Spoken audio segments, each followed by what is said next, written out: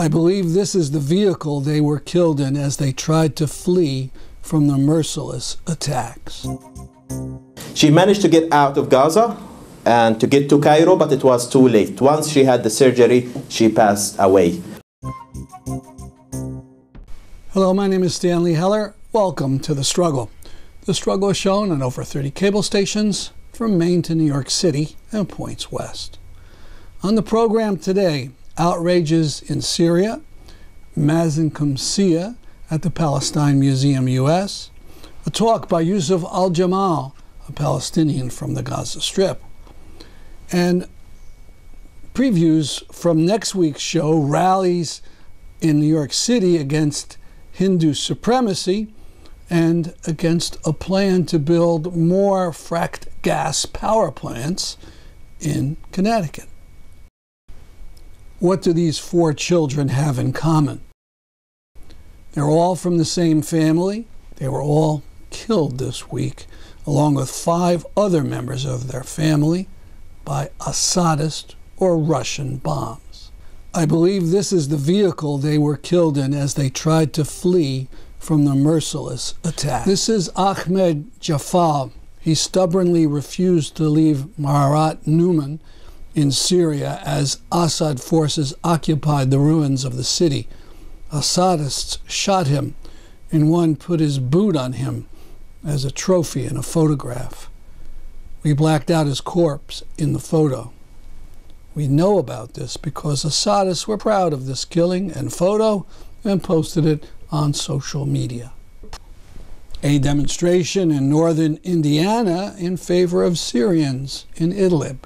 So, what should we be saying about Syria? Here are some possible slogans Turkey, Europe, U.S. give refuge to Syrian refugees. Airdrop and drone drop food and supplies to Syrians under siege. Pressure Assad and Putin to stop the bombing. Sanction those who take part in war crimes. Never forget. Now, the conclusion of Dr. Mazin Qumsiyeh's Shafer lecture at the Palestine Museum, U.S. Uh, the woman in the black hat in the middle, her name is Matiel Mughannam.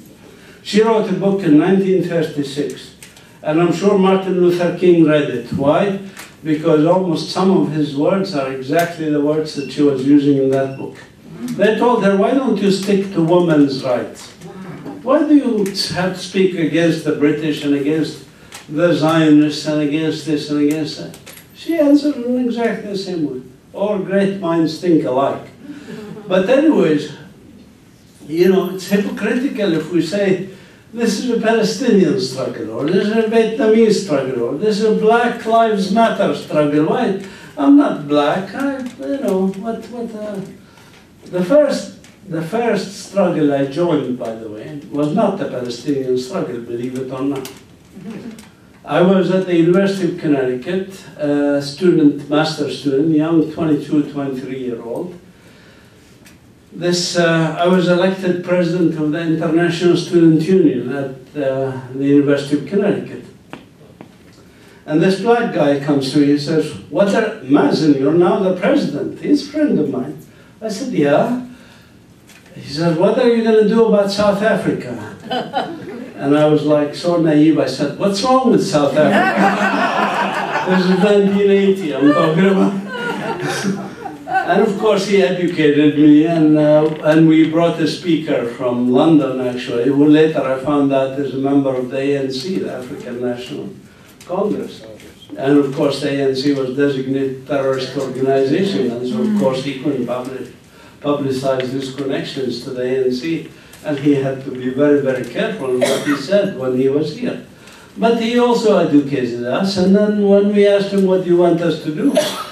He said, well, you know, there's a thousand things you can do. You can do media work or work on your congressman, lobby, you know, like Yusuf told you, there's God, call the congressman, whatever.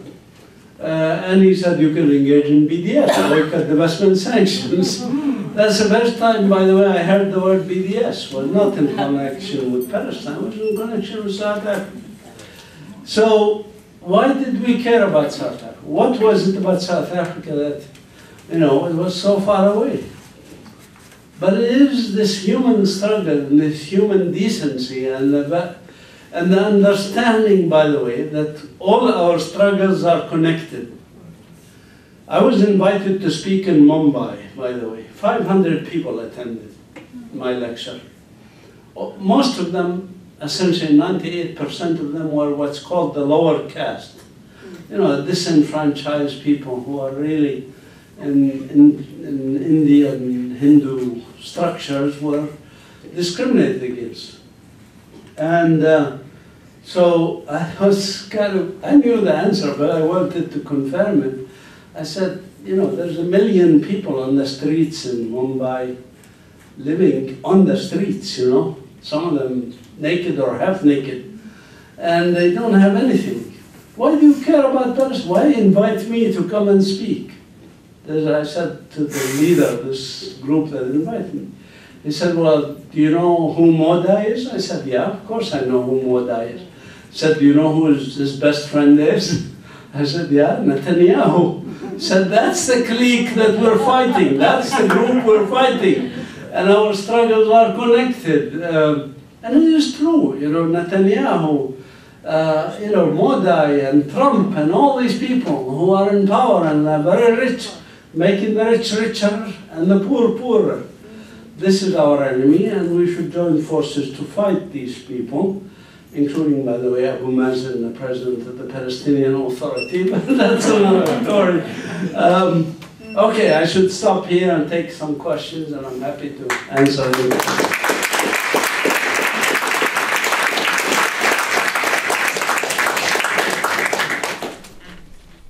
This is a talk given by Palestinian writer and researcher Yusuf Al Jamal.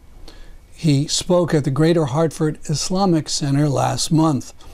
His stories about what happened to his family are wrenching.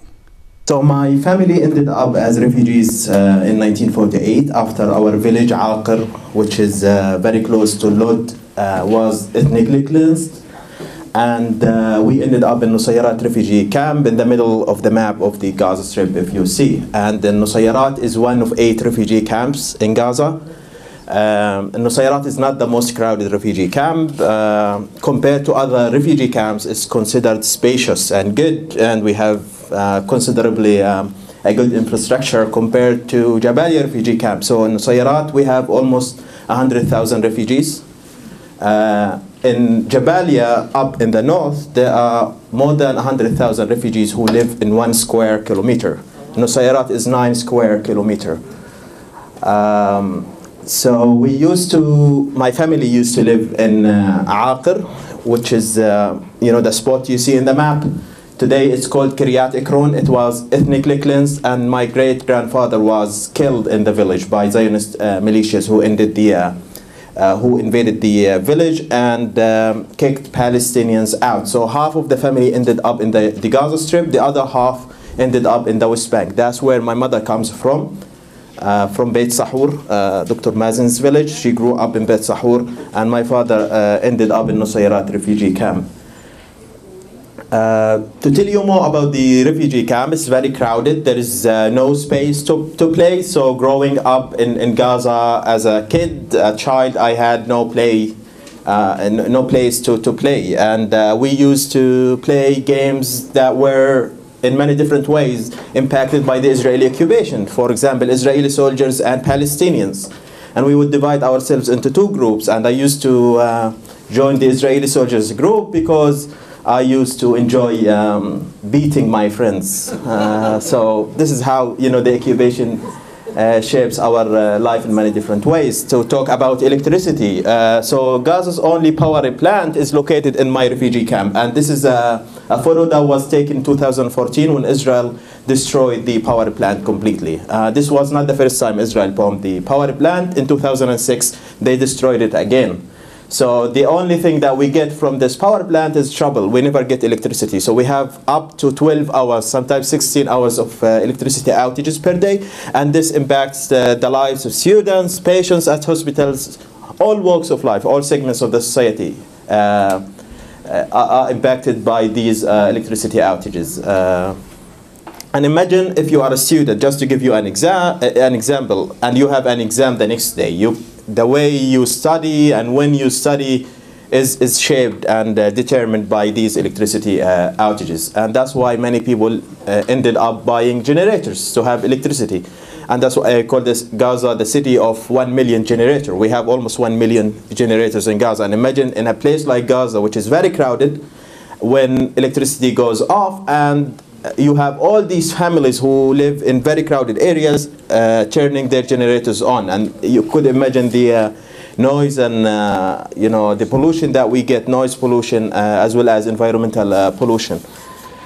Um, Again, Israel bombed the only sewage uh, desalination facility, which is located right next to the power plant, and this means that uh, thousands of, uh, uh you know, cubic uh, meters of sewage makes it to the Mediterranean every day, and this is a photo uh, of what we call the Gaza Valley. In fact, it's not a valley; it's a valley of sewage um, that ends up in the Mediterranean. And again, you know, oceans and seas are not racist, so usually the uh, waves and currents go to the north, and this is the Israeli-controlled uh, shores, and that's why they finally allowed the International Committee of the Red Cross to implement some projects to treat, uh, you know, the sewage. Not because they care about Palestinians, but they, they care about themselves.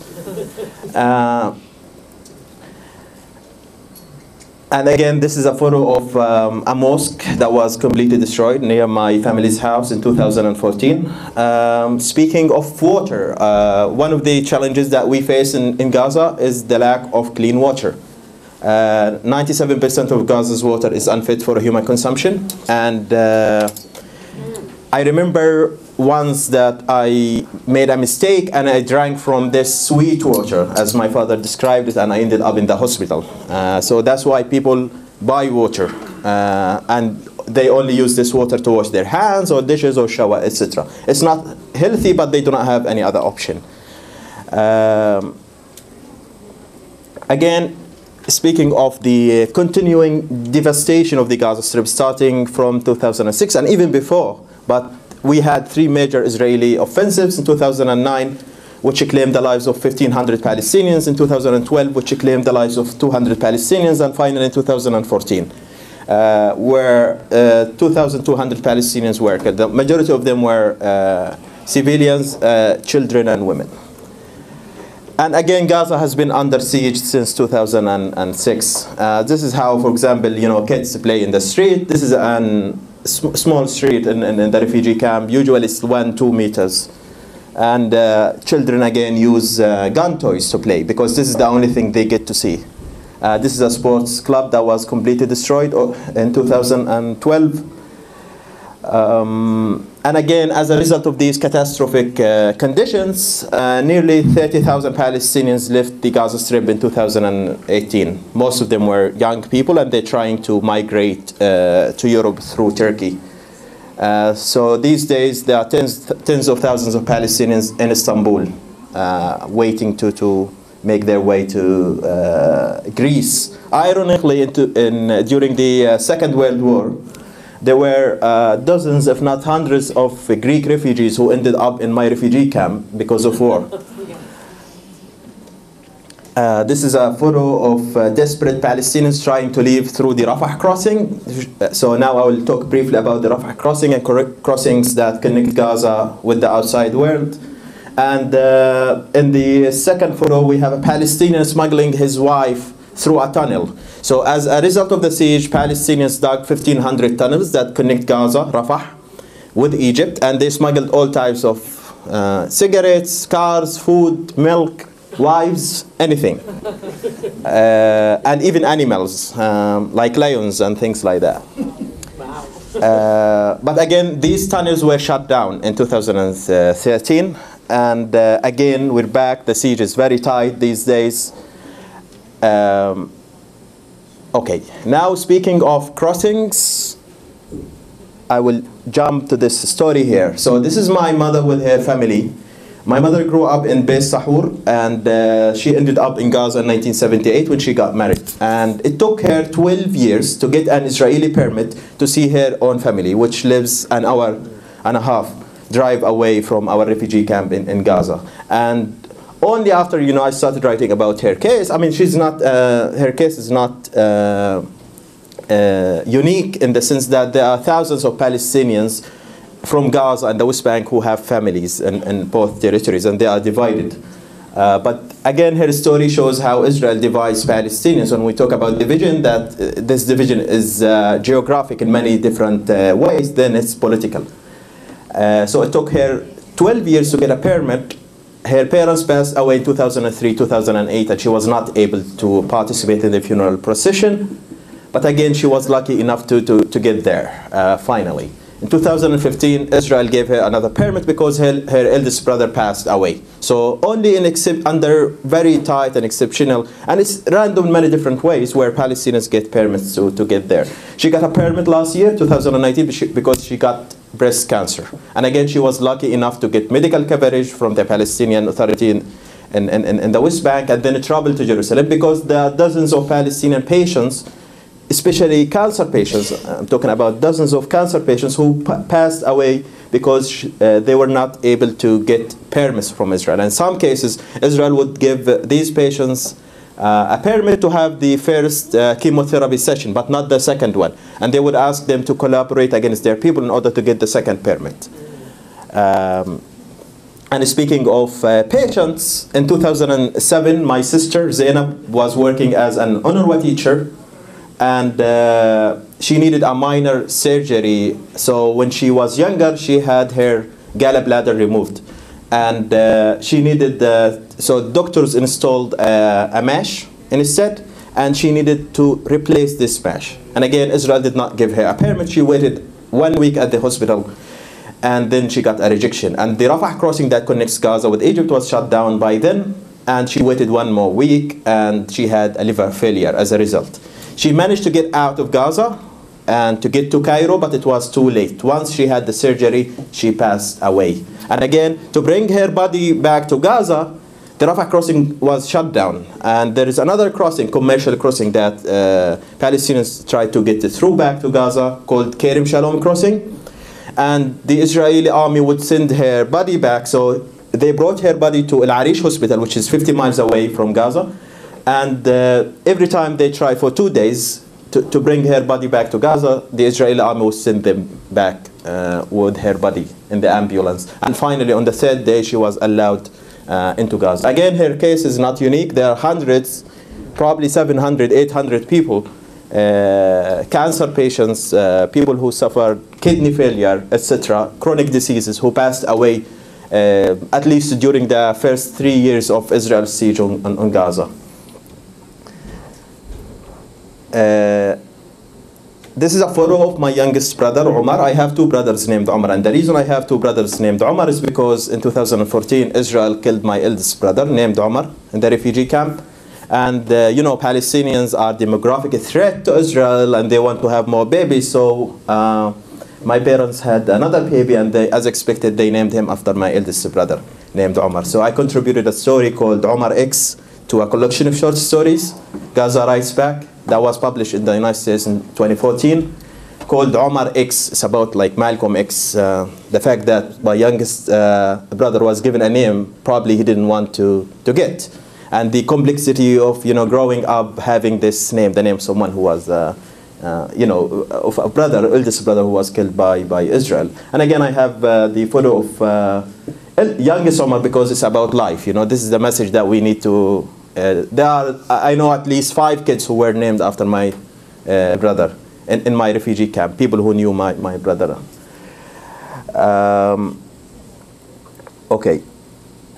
So again, in 2014, my uh, childhood friend Ayman Shukur was killed by an Israeli shell while standing on the roof of, their, of his family's house and it was a random shell. So the Israeli army was shelling the, his area randomly, killing him. And uh, this is his story. He was a bright young man, a graduate of Arabic literature who liked poetry. He was a painter, and he was the goalkeeper of our UNRWA um, uh, school when we were uh, little kids, so we grew up together. So this is his uh, stories. I think it's important to tell personal stories because we are not numbers. You know, stories do matter. And as part of you know this approach of telling personal stories, uh, I got involved in uh, translating a book collection of uh, interviews with young Palestinians, Palestinian children from the West Bank who were arrested by Israel. The issue of child prisoners is one uh, important aspect of military occupation, one of the co- consequences of military occupation in the West Bank. The book is called Dreaming of Freedom Palestinian Child Prisoners Speak. And now, and speaking of child prisoners, uh, there are almost 700 Palestinian children arrested by Israel every year. Um, these children are uh, subjected to torture. Uh, as UNICEF described it, it's uh, you know the uh, ill treatment remains widespread, systematic, and institutionalized throughout the process of detaining Palestinian uh, children. Um, again, if we talk about child prisoners, Israel focuses on Jerusalem in particular, and they target Palestinian children in, in Jerusalem in particular, in order to create uh, a submissive ge- uh, generation, especially in, in Jerusalem, and to make ha- life hard for Palestinians by you know arresting their uh, children, demolishing their houses, etc. So these children are taken in the middle of the night very often. So Israel and the Israeli government uh, is able to send summons to these children, to their families, and they would bring them the next day. But they choose to uh, break into their houses in the middle of the night to terrify the children, turn the house upside down, destroy the furniture, and sometimes steal money and gold, and then take the children. Um, uh, they, you know, these children are interrogated, uh, tortured, uh, again, very often without the presence of their uh, lawyers and uh, parents. And finally, they are forced to sign confessions in Hebrew, a language they do not understand. This is a photo of Palestinian child being arrested by a group of Israeli soldiers. So the book was dedicated to this child, Ayman Abbasi from Jerusalem. He was 16. And uh, a year before, he was arrested by the, the Israeli army. And uh, upon his release, while participating in a peaceful demonstration in Jerusalem against Israeli restrictions uh, against Palestinians in the city, he was shot dead. So first he was arrested, and then upon his release, he was placed under, under house arrest, where families become the jailers of their children. And Israel does this on purpose because instead of you know bringing these children to Israeli detention centers, which is the case under military occupation, where Palestinians uh, the oppressed people uh, face their Israeli jailers, the oppressors. This is the normal equation. Families become the jail, jailers because families want to make sure that uh, you know their children stick to the terms of their release. Otherwise, they will be fined. They will you know be forced to, to pay very high fines, or their children might be arrested again. So house arrest is a way to destroy the fabric of the Palestinian society, turning families into jailers. Uh, and again, he was released uh, from this house arrest and he was killed. Not only this, the Israeli army tried to kidnap his body because they have a policy of uh, withholding the bodies of Palestinians. They shoot it in order to use uh, you know, these bodies in any future prisoners swap deal. Uh, and they keep these bodies in what they call numbers graveyards, where each uh, grave is given a number and th- there is no name, so you cannot tell which grave is which. But again, they have secret records uh, that contain the details of uh, these graves, and uh, in some cases, these uh, you know records were uh, lost. In other cases, because of rain, uh, the bodies washed out. So, and again, people made sure that his body is not kidnapped because this means that he will be he, held, God knows, like 15 years, like my neighbor uh, was in these uh, numbers graveyards. And uh, they smuggled his body running from one street to another. And they finally managed to get him to the graveyard and to, to uh, lead him to, to rest. But this means that his family was not able to see him. Uh, and again, this happened after his story was, you know, after he was interviewed for the book. And this shows the importance of documenting these stories. Otherwise, his story would have gone uh, unreported and undocumented. Uh, that's why the, the book is dedicated to his life because he was interviewed for the book but uh, did not live long enough to see it published. Uh, so this is his story and he sp- speaks of how his family couldn't recognize him uh, at uh, at court because of torture. He says, I was uh, shocked at the force the Israeli security apparatus used on me at my family's home in Jerusalem's Ras Al Amud neighborhood. The moment I was arrested, I expected to be beaten. However, at the interrogation center, I was hit so badly in the face that when my family saw me at court, they could, not, could barely recognize me because of the marks and bruises. And again, uh, this is another example, uh, Malak al Khatib, She's from Ramallah, and uh, while she was going back home from school on a spring day, she wanted to pick up some flowers she liked, and she ended up in what Israel describes as a restricted military zone. And again, she was arrested and she was accused of entering and accessing a restricted area, and she was thrown in, in jail for uh, four months. So, this is her photo when she was released. But again, if you look at her photo when she got into jail, it's completely different. So this experience changes these children for forever. I was, yeah, she was in jail actually, sorry, for two months. She says, I spent about two months with them. I was released and my heart was still full of sorrow, not because I was arrested, but rather because of the injustice Palestinians are still facing. And again, she talks about um, other female prisoners that she left uh, behind. Um, I will yeah, stop here and. Uh... First notice of a rally in West Haven, Connecticut on February the 21st for the family of a young man shot seven times by a Connecticut state trooper. 4:30 p.m. on that Friday the 21st. Now just a bit of the rally in Hartford against the proposed Killingly fracked gas power plant defeated. The people united will never be defeated.